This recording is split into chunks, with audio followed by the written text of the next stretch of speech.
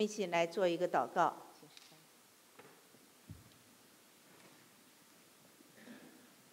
亲爱的爸爸天父，在你所定的日子，在我主耶稣基督复活的日子，我们来到这里，我们来到你的面前，来以我们的神为乐。我们来到你的面前，我们来欢呼雀跃，因为我们今天是全新的生命，是基督的爱所不能被隔绝的生命。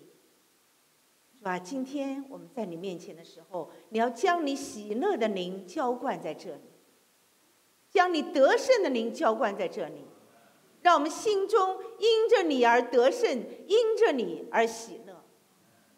天的阿爸天父，求你在此刻，你圣灵在我们中间运行，让我们一同来被你得着，也深深的更认识。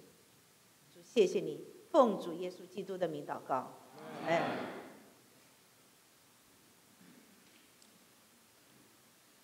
好，今天和大家分享的题目是以神为乐。啊，其实每一个主日，我们来敬拜神，我们的主日崇拜是怎样来形成的呢？就是我们的所有的服侍者，从招待到做饭食的，到带孩子们的，以及我们的敬拜团、我们的诗班、我们讲到的和听到的。什么是传道？如果只有我讲，没有你们听，这个主日不存在，因为传道最终的目的是抵达每一位弟兄姊妹，所以传道最终的目的不是讲，传道最终的目的是听，是你们能够因着上帝今天使用我这个卑微的器皿。将他的话，将他的心意传到你们的心里，成为你们生命的力量。我们教会呃有很多弟兄姊妹还是呃受洗不久，我们教会好像我觉得这点特别好，永远是新的教会。我过去曾经在的教会，好像十年都同样的人。这个教会，我每次回去大概几个月回来，就有三分之一不太认识。我发现彼此都是这个感受，这个是好事，说明神使用我们的教会成为一个窗口，进入神家的门口大门。但是我们教会中有很多弟兄姊妹新来到美国，新来到教会都有一个共同的特点，我们说人的尽头才是神的起头。如果我们毫无困难的人。他其实比较难进入教会，有的人是生活中的困难，有的人是身体上的困难，有的人呢其实是心灵中的困难。生活和身体上的困难都容易过去，心灵中的困难是很难的。因此，我今天特别想这样这篇道以神为乐，就是给各种我们弟兄姊妹在各样的困境之中的弟兄们。我刚刚信主的时候是在一个非常保守的教会，啊，我我一直说在那个教会差不多至少是哭了三到七年，每个主日，因为这教会天天讲的都是死，不是说不要讲死，问题是，我刚刚信主，当时特别喜乐，是不是受洗完特别喜乐啊？对吧？特别喜乐，然后我们的师母就跟我说，十字架的道路。是艰难的，你是会越走越苦的。你今天是蜜月，你后面全是苦的。他的心意非常好，是好心让我知道这条路是苦的。但是整个我当时那个教会，相当于我们现在一个团契啊，伊斯维尔团契比我们当时教会大，哎，就这么四五十人，每天都觉得，我现在回想有点找苦受。任何一件事来，我们先从苦的那个角度来看，怎样满足神的心意，就形成一个概念。中国人原来就有一个概念，就是修行。对，哎，下面有人说修行，就我越苦，老天爷好像就越高兴，对吧？我爸妈也越高兴，哎，苦认苦着学习，苦着干嘛？信主以后更觉得要苦了，为主吃苦。我讲过很多道，但是是不是越信越苦呢？我今天可以告诉大家一个喜讯，就是越信越喜乐。那怎么样才能喜乐呢？我们今天就借着神的经文来看，《罗马书》五章一到十一节。如果你们有圣经，就可以把它翻开。我一直是比较建议带圣经的啊，笔可以在圣经上记。啊，其实手机圣经我也不反对的。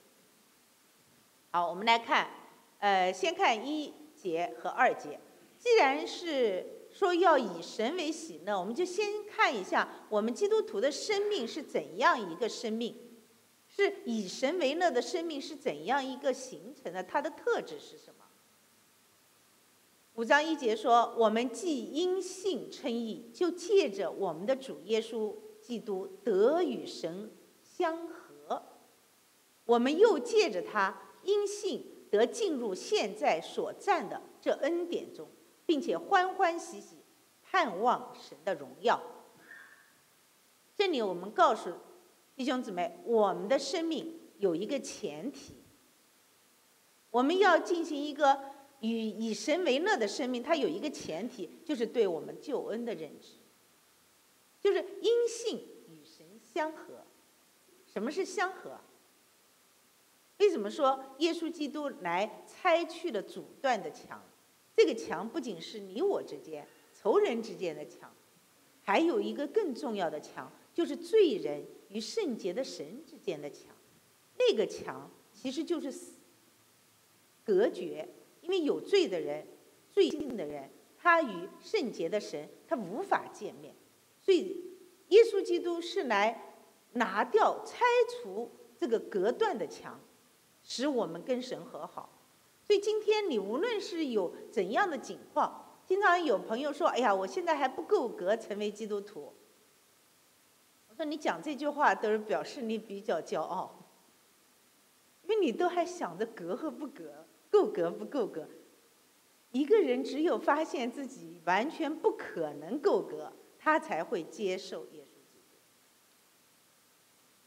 所以这里讲到因信与神相合的意思，就是与神之间没有再相隔的了。那什么是信呢？信就是与神的联合，而，不是说我相信有神，而是说信而跟从，信而顺服。就我们讲的一句俗话，叫信进去了，是吧？你有没有信进去呢？信进基督里面去呢？就是与神相合。所以你要想以神。呃，为乐的生命，第一就是因信与神相合，然后你就站在一个生命的地位是站在恩典中的，在神的恩典的包围之中，而生命的状态呢是欢欢喜喜，生命的本质就是盼望神的，所以我们整个生命的本质是盼望神的荣耀。这四条哪条对今天的你我最困难呢？似乎就是欢欢喜喜。我们很难做到随时随地欢欢喜喜。我们看，他紧接着，所以罗马书啊，非常我非常喜欢罗马书。罗马书保罗的书信，他写的是一层一环扣一环。他紧接着就告诉你，就是欢欢喜喜，在顺利的时候，在神祝福的时候欢欢喜喜一点都不难，难的就是在患难中以神为乐，在患难中如何欢欢喜喜。不但如此，就是在患难中也是欢欢喜喜的，因为知道患难生忍耐，忍耐生老练，老练生盼望，盼望不至于羞耻，因为所赐给我们的圣灵将神的爱浇灌在我们心里。今天主要不讲患难，啊，这这段经文其实讲过多次，我以前听到听的最多的就是这段经文。那今天不讲患难，讲喜乐。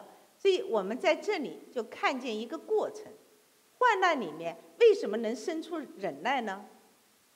因为相信神，因为跟神连接在一起，在患难中你才能忍耐。所以患难的时候要祷告，对吧？加强神的连接。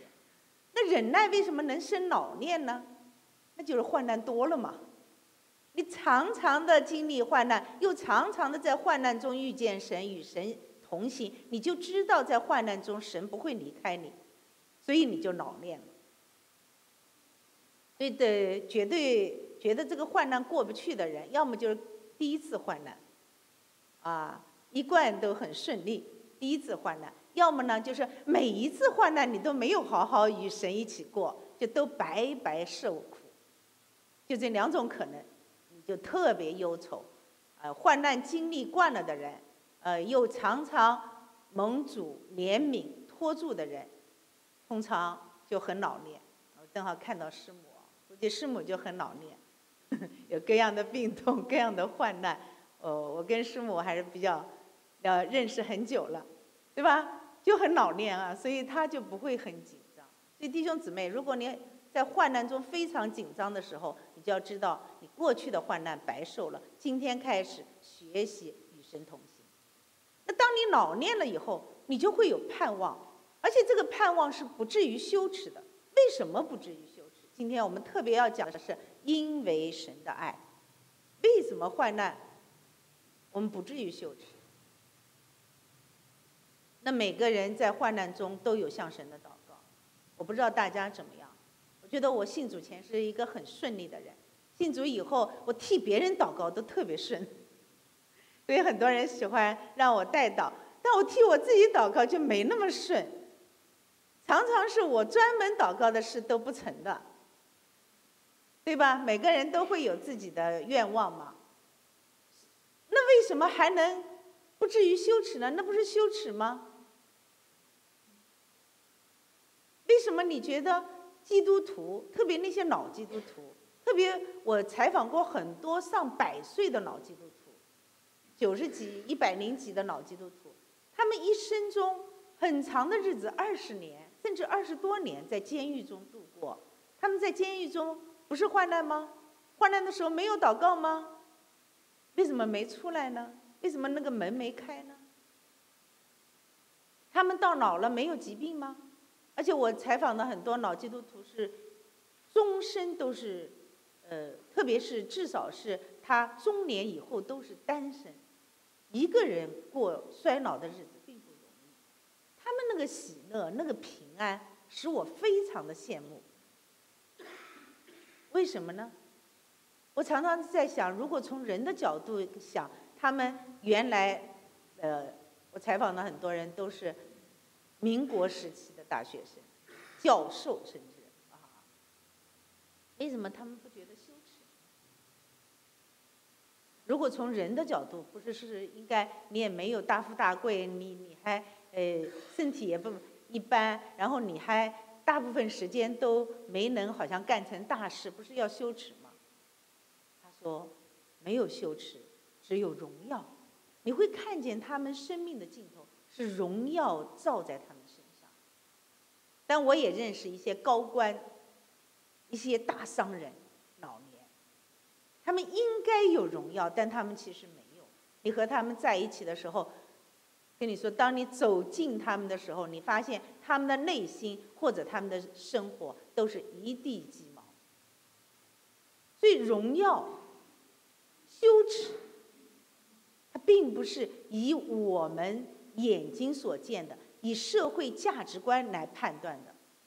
当你站在生命的终点，站在死亡的面前，你才知道什么才是真正的荣耀。所以我们来看一下，怎么叫不至于羞耻？是不是神每一样祷告都答应你，你就不至于羞耻？他说不至于羞耻，是因为神的爱。今天我们要特别讲，因为神的爱，从几个方面讲。第一，神的爱就是为罪人死。五章六节到八节，因为我们还软弱的时候，基督就按所定的日期为罪人死。为一人死是少有的，为人人死或者有敢做的，唯有基督在我们还做罪人的时候为我们死。神的爱就在此向我们显明。不怕死，并不难。我我呃在我们教会，跟张牧师和 Bill 长老不能比，但比大多数人年纪都大。然后我小的时候就接受 革命教育，你知道我从小最羡慕谁吗？我从小最羡慕两个人，一个是我资产阶级家庭给我的一个传统，就喜欢《钢铁怎样炼成》里面的东丽亚，资产阶级小姐。但我很遗憾，她最后没有跟革命走。第二个，我最羡慕的、最甚至当时崇拜的，就是江姐。啊，都笑的人都跟我年龄差不多，千万别笑。我记得我小学的时候，我们就跳那个江姐绣红旗，啊，大家都知道我会跳舞啊。我们绣红旗跳那个舞，我当时就想，哎呀，我如果被竹签插这个手指，我能不能扛住？我如果要被枪毙，能不能扛住？我长年累月的想这些事啊，就我们儿童时候，我觉得我要做一个女英雄。我甚至自己经常拿个竹签试一试，掐一掐。你们现在觉得很可笑，但当时我就觉得最好不要受刑，直接把我枪毙，死不怕。其实，在中国历史中，为了理想，甚至为了一个呃艺人，就跟随他的人等等，去死赴死的人绝不在少数。我最我不太像女孩啊，这点我特别喜欢历史，喜欢历史中所有那种，呃，去为义赴死。但是我读到这一段经文，我特别感动。你我，谁？你我配让谁为我们赴死吗？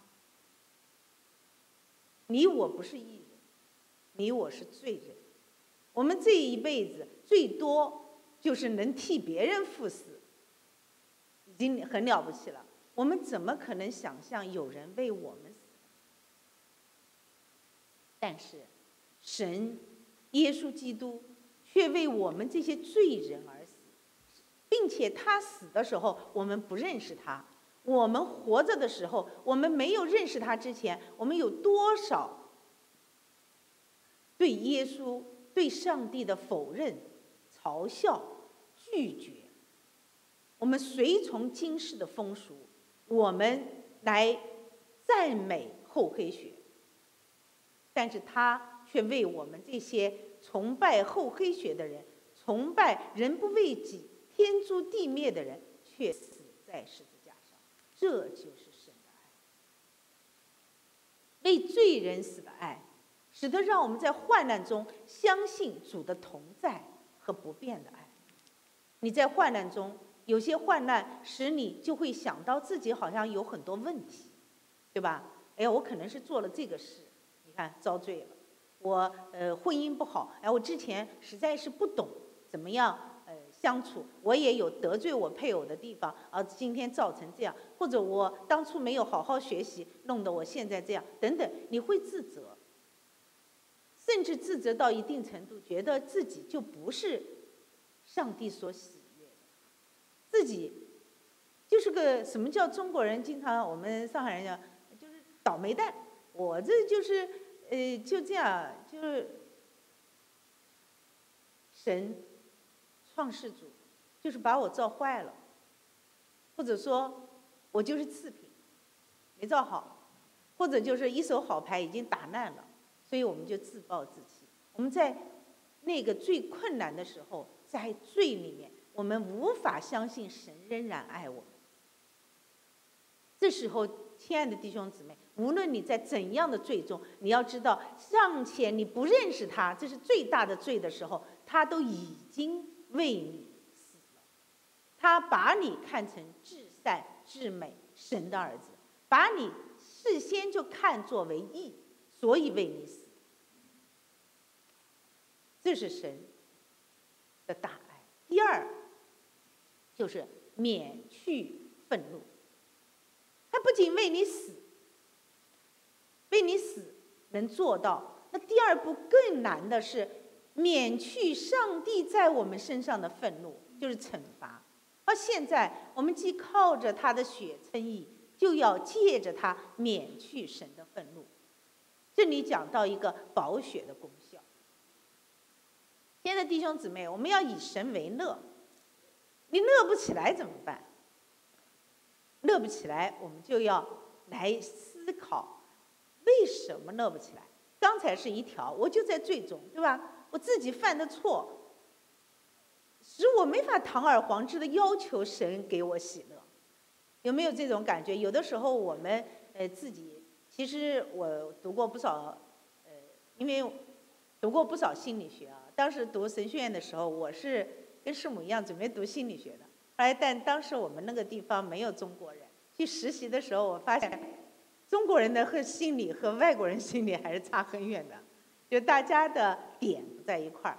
但我学了很多这个学科，我就发现人有的时候一直在苦难中，其实有些情况是自己对自己的一种心理的惩罚，觉得自己不配喜乐，觉得自己不配平。所以这里就要看到宝血的功效。耶稣基督的血今天已经洗净了你一切的过犯。你要靠他的宝血，当他的你相信他宝血的那一刻，你就被洗的洁白如雪。你无论刚才你做了怎样的错事，你发了怒，你骂了人，你伤害自己，但此。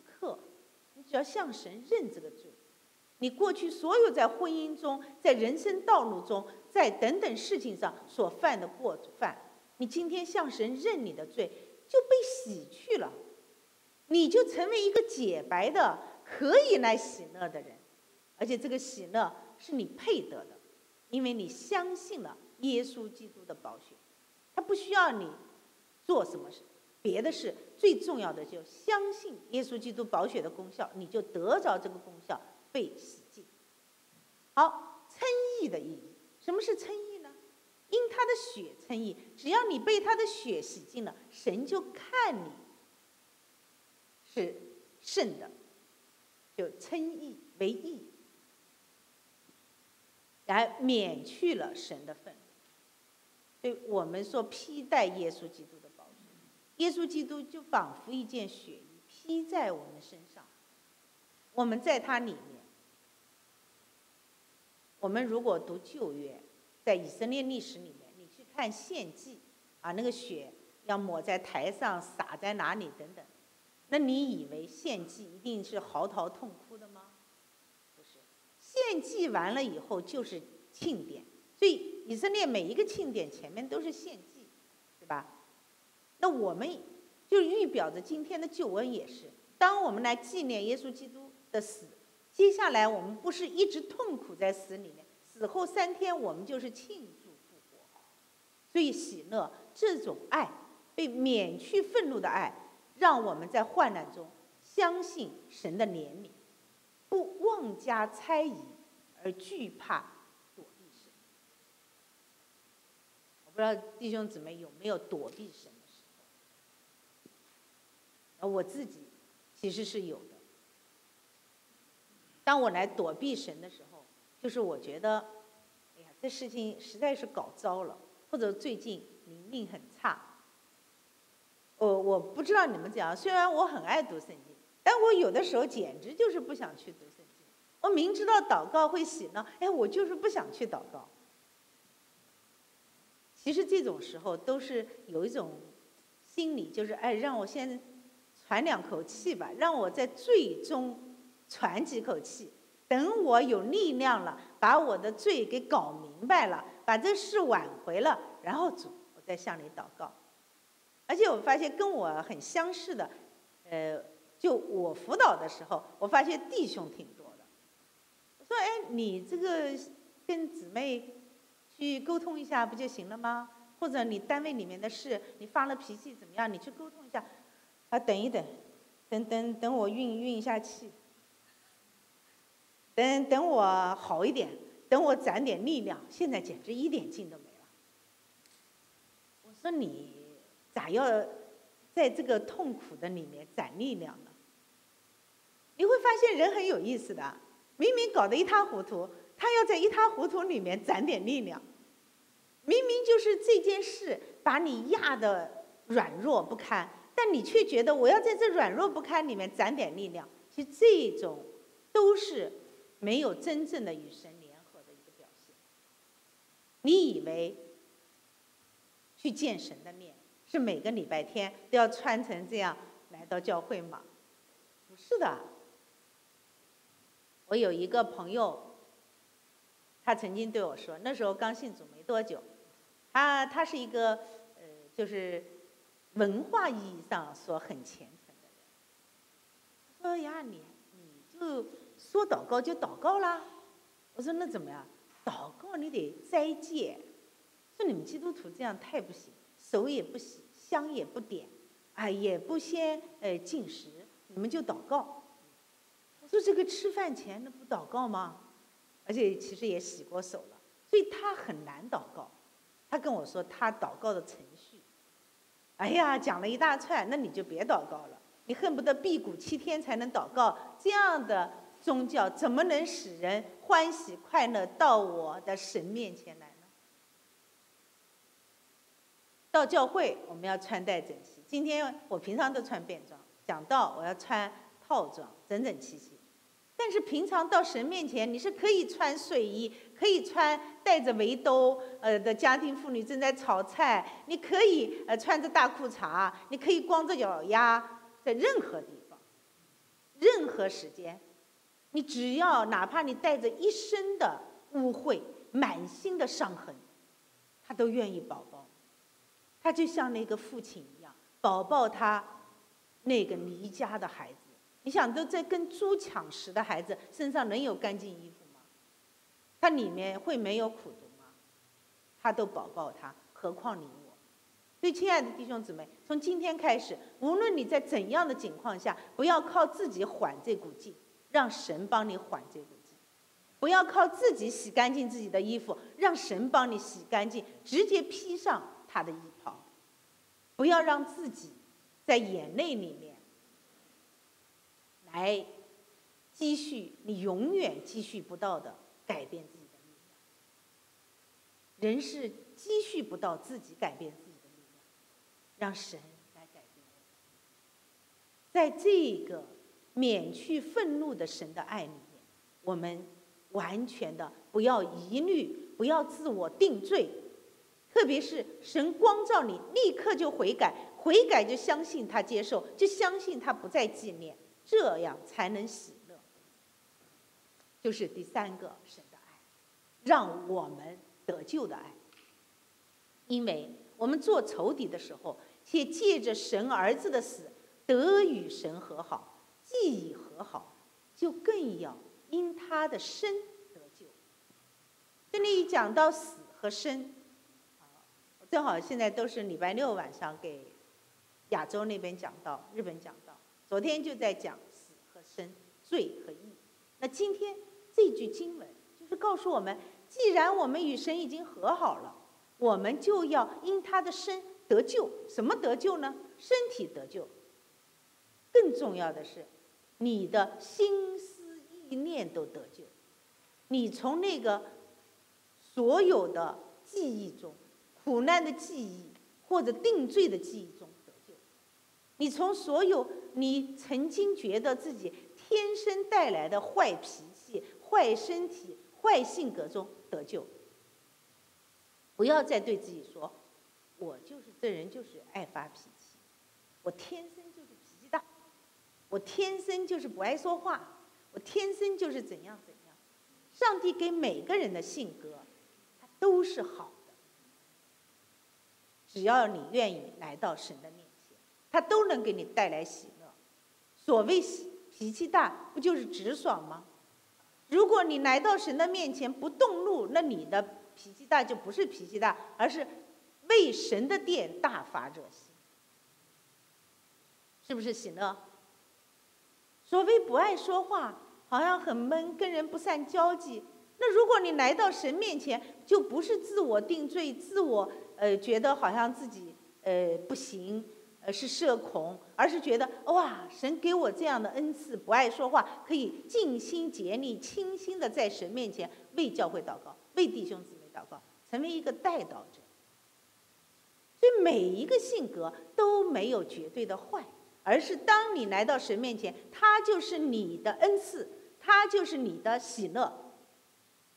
所以我们曾经与神为敌，但今天神儿子替我们。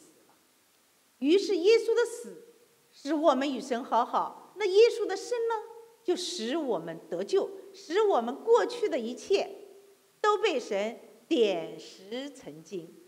阿门。以后不要再，我不希望听到弟兄姊妹跟我来先讲，你就说你今天犯了呃什么事情不讨神喜悦了可以，但你不要说我这个人呐。当你一说我这个人就是怎样怎样，那你就否定了耶稣基督已经赐你的新生命，否定了耶稣基督的死使你重新活过，对吧？所以我们今天可以到神面前。那我们今天。来讲到我们今天最重要的，既知道我们的生命是一个怎样的状态，那么我们以神为乐的生命要做些什么？然后又讲到了可以让我们以神为乐的最核心就是神的爱。现在我们就讲如何以神为乐，如何以神为乐这一部分，我希望弟兄姊妹下个礼拜，今天回去开始就做一个操练，自己来操练，因为以神为乐不是一个。呃，理论，今天讲的是一个操练的题目，大家可以操练。第一件事就是尊主。我们看《路加福音》一章四十六到四十七节，玛利亚的尊主颂里面有这样一句话：玛利亚说：“我心尊主为大，我灵以神我的救主为乐，因为他顾念他使女的卑微，从今以。”后万代要称我有福，而这句话给我们一件非常重要的事。玛利亚，我们想一想啊，他尊主颂的时候，他是不是已经看见他生的儿子，然后呃，已经坐在神的右边成王了？有没有看见？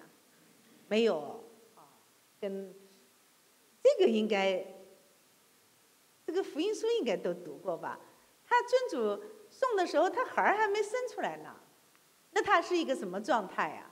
他是一个未婚已孕，丈夫差点要想悄悄休了她，但还是神呃派天使对他说：“你把她娶过来。”那怎么说？人家一看啊，你结婚了，你这肚子好像大的比较厉害，他没有什么荣耀的，他觉得这个孩子。神给他的这个命令，完全使他只有损，没有益。那哪来的喜乐呢？你看他这很关键的是，我心尊主为大。现在弟兄姐妹，如果你的心不是尊主为大的，你很难以神为乐。如果你的心是尊神给你的赏赐为大的。你的心也只会为神给你的礼物而乐。今天有礼物就开心，今天没礼物就难过。对尊主为大，心里要以神为满足，这是玛利亚所做的。以神我的救主为乐，怎么才能以尊主为大，以神为乐呢？前面讲过，神做了这样的爱。那我们下面看第二件。就是以神为福，以神为大，是指我们的呃聚焦中心。就我们聚焦中心是你的孩儿啊，是你的配偶啊，是你家庭的财产啊，还是你的事业啊，还是世人眼里的你的尊贵啊，还是主自己呢？那第二件事，以神为福是讲你的价值观。在诗篇十六篇里面，他说：“耶和华是我的产业。”是我杯中的份，我所得的，你为我持守，用神量给我的地界，坐落在佳美之处。我的产业实在美好，因此我的心欢喜，我的灵快乐，我的肉身也要安然居住。我们最喜欢的就是第九节，对吧？说我的心欢喜，我的灵快乐，我的肉身也要安然居住。这是以神为乐的一个从心思意念到外在所有完整的描述。但是是因此，因为什么？所以前两句你要看，就是耶和华是我的产业，是我的杯中分。他量给你的地界，你觉得满足是佳美之地。呃，我记得人是很容易受外界影响的。我曾经说过，呃，我跟张俊其实都不很喜欢小孩子，哎，喜欢也是喜欢别人家的小孩子，就是玩一玩的小孩子。哎，当但是当大家都觉得应你应该生孩子的时候，我们也去试过，然后不成的时候。我们俩都属于比较顺利的人，就觉得不成一定要成，对吧？然后还不成的时候，最后别人就告诉我们：“哎，你们可以去看中医，看谁谁谁介绍的中医。那中国介绍的中医都有一个名字，叫送子观音。都说：哎，你们去看那个人送子观音。哎，我记得我们家俊哥就当时跟我说：那观音送来的儿子到我们家，那不祸害吗？”当时我觉得那不就是一个名字嘛？那先送来了，咱再把他教育成神的儿子不也行嘛？对吧？张女士不去。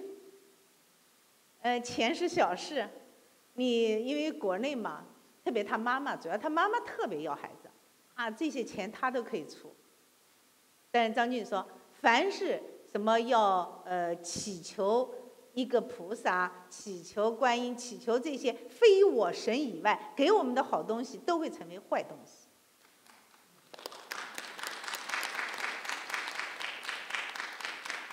亲爱的弟兄姊妹，你有没有想过，魔鬼撒旦诱惑耶稣，就是说，啊，你拜我，天下的一切都给你。哎，那耶稣，按理来说不能想一下。那我就拜一下嘛，天下一切都给我，立刻，呃，我的救恩，我的国度不就传道容易了吗？啊，那就耶稣就可以成为最大的国教领袖，是吧？而且是多国国教领袖，但耶稣没有做这个，他说我单拜我主，我的神。亲爱的弟兄姊妹，你今天单单只要神给你的吗？你今天单单满足于神粮给你的疆界吗？也许就一个厨房，也许就一个仓库，也许就是呃有些呃教会就是四五十人。我我的牧师，我非常尊重的牧师，带领我的牧师朱建牧师，很有才，生命也非常好，是我见过的牧师里面，我觉得生命非常好，我很佩服他，他。那个教会，因为那个地方就是学生来学生去嘛，永远五十人，永远五十人。那你说他做了多大事呢？他愿意满足于这个疆界吗？我曾经跟神说，我希望做宣教士，啊，四处去宣教，哪怕越边远越好，因为越边远越好玩，对吧？我是特别贪玩的人。那神大部分时间都让我坐在书房。一写一天，一写一天。这两天正在治腰椎，腰椎出问题。他的疆界，他给你的环境是你的喜乐吗？他给你的东西是你的满足吗？这就是我们说以神为福。你是以世上为福，让神来帮助你得福呢，还是以神自己为福呢？第三就是到神面前，你尊主为大以后。你学习思考，你能不能满足于神所给你的？你看那个是福气，你不要按世界上的标准来看那个是什么。你的评价标准要改变。然后第三就是到神面前来，求你发出你的亮光和真实，好引导我。读经的时候要有做这个祷告，祷告的时候这个是非常重要的。求你发出你的亮光和真实，好引导我，带我到你的圣山，到你的居所。我就走到神的祭坛，有这首歌啊，我就走到神的祭坛，到我最喜乐的神那里。神啊，我的神，我要弹琴称赞你。我的心啊，你为何忧闷？今天弟兄姊妹，我们一起来读第四节、第五节。我就走到神的祭坛，到我最喜乐的神那里。神啊，我的神，我要弹琴称赞你。我的心呐，你为何忧闷？为何在我里面造反？应当仰望神，因我还要称赞他。是我的神。亲爱的弟兄姊妹，当我们读这两句经文的时候，你常常当你心里不快乐的时候，你要喊自己的心：我的心呐，你为何忧闷？为何在我里面烦躁？应当仰望神，转眼仰望耶稣。当你仰望神的时候，你就称赞他。为什么你仰望他才能称赞他？你仰望他，你呢才能看见他的容颜。他是我们脸上的光。你觉得你的生活、你今天的处境、你现在的状态没有荣光吗？不是，耶稣基督、上帝是你的荣光，是你脸上的荣光，所以你可以扬起脸来，在这个世上再没有人比你脸上的荣光更加有荣光，因为他是我们的神。所以，当我们回到。罗马书五章十一节的时候，他最后这节就总结了刚才我们说的是如何以神为乐。不但如此，我们既借着我主耶稣基督与神和好，也就借着他以神为乐。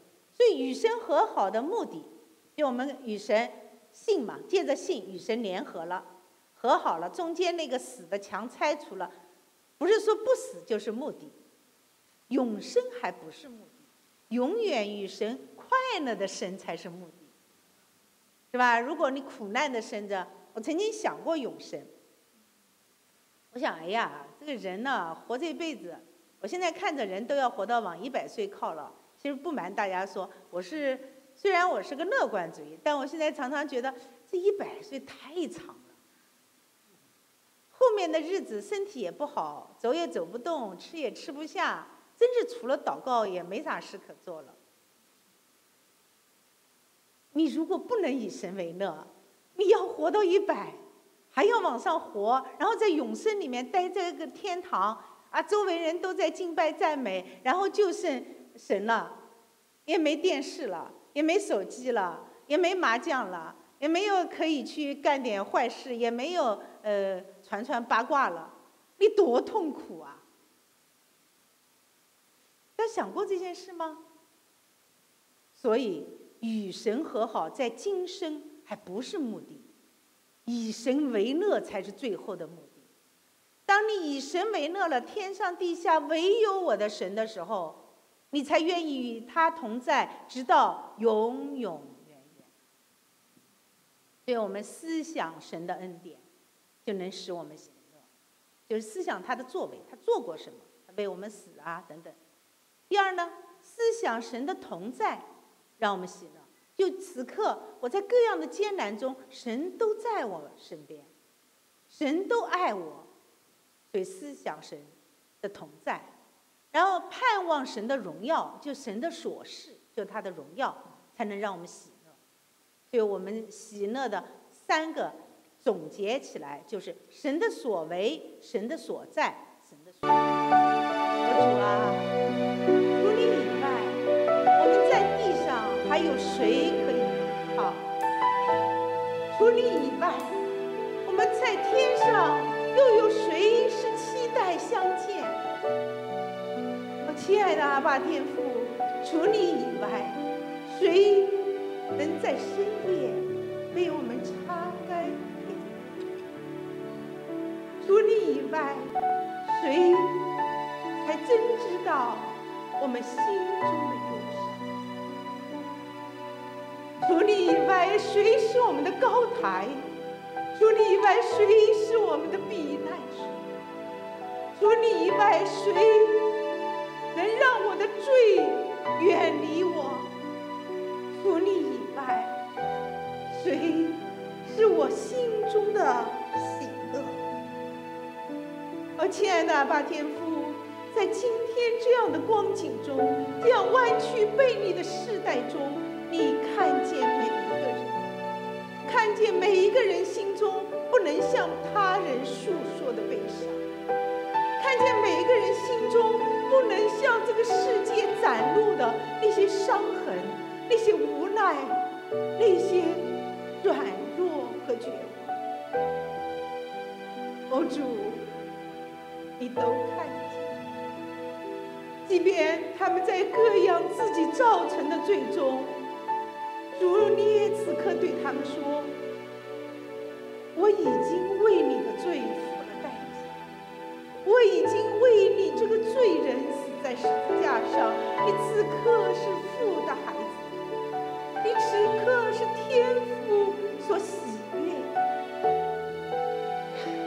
好，亲爱的阿爸天父，此刻你就来将你的喜乐，将你的平安交换。亲爱的阿爸天父。主耶稣基督，你伸出你的定恒的手，你在为今天在这里听到的每一个人心上抹去伤你说忘记背后，努力面前，因为在我们前面不是别的标杆，在我们前面是我们的救主坐在父的右边，在我们前面是我们的圣灵带领我们越来越认识。越来越清晰的主，你在我面前。无论我们今天在怎样的光景中，我们都可以从此刻成为新造的人，来跟随奉主耶稣基督。